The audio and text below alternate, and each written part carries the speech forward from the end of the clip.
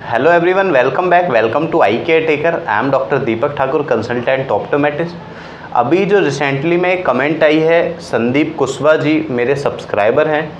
उनकी कमेंट आई है कि उनका जो बच्चा है वो एक साल पाँच महीने का है।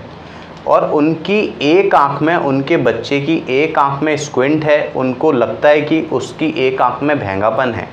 तो क्या करें बेसिकली तो मेरी आपके लिए ये राय है मैं आपको बताना चाहूँगा, जैसे कि मैंने पिछली वीडियो में भी अपनी एक वीडियो में थोड़ी सी देर के लिए बताया था कि बच्चे को आप पूरा डेवलप होने दें। तीन साल तक अप्रॉक्स कम से कम बच्चे की जो आँख की मसल्स वगैरह होती हैं, वो पूरी डेवलप होती हैं। तो अभी अगर बच्चा आपका एक साल पाँच महीने का है तो अभी आपको कुछ नहीं करना। आपको वेट करना है कि बच्चा तीन साल तक का होगा जब उसकी मसल्स पूरी डेवलप होंगी। तब जाके हम कुछ आगे प्रोसीजर लेंगे। जैसे आपको अगर बहुत सारे केस में क्या होता है कि कुछ बच्चों की आँख हमको ऐसा लगता है कि वो कभी कभार बाहर की तरफ़ हो रही है। पर बहुत सारे केसेस में वो चीज़ नॉर्मल होती है। जैसे कि हम चेक करते हैं तो हमें प्रॉपर पता चलता है कि हाँ ये बच्चा नॉर्मल है हाँ इसकी आँख बाहर की तरफ़ है।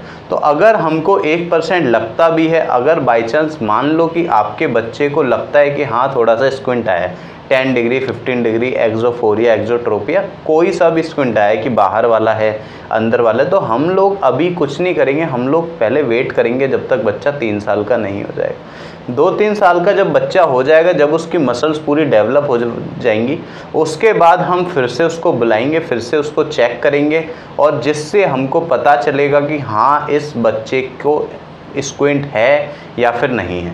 बहुत सारे बच्चों का जो थोड़ा बहुत स्क्विंट होता है, वो अपने आप ठीक भी हो जाता है जब वो बच्चा थोड़ा बड़ा होता है। तो इसलिए दो से, ढाई से तीन साल तक आप मान के चलो, हमको कुछ नहीं करना, कोई ट्रीटमेंट नहीं करना, कोई भी आगे हमको स्टेप नहीं लेना, हमको वेट करना है बेसिकली वेट करना है, उसके बाद जब बच्चा ढाई तीन साल का हो जाएगा, उसके बाद हम फिर से चेक करेंगे और उसके लिए प्रॉपर ट्रीटमेंट करेंगे जैसे कि अगर बच्चा दो ढाई साल का हो जाता है, वो कॉपरेटिव हो जाता है, अगर बच्चा कॉपरेट कर रहा है तो आप उसको कुछ एक्सरसाइजेस करा सकते हैं। पेन वाली एक्सरसाइज अगर बच्चा कर पा रहा है तो जैसे बहुत सारी एक्सरसाइज मेरी वीडियोज़ में आपने देखी होगी, मैं एक्सरसाइज बहुत अच्छे से बताता हूँ और उन पर बहुत फोकस करता हूँ। तो एक्सरसाइज अगर आपका बच्चा कॉपरेट कर रहा है तो वो अच्छा है उनकी मसल्स के लिए। जैसे हमारी, हम बॉडी बिल्डिंग करते हैं, अपनी मसल्स के लिए एक्सरसाइज करते हैं तो हमारी मसल्स अच्छी बनती हैं।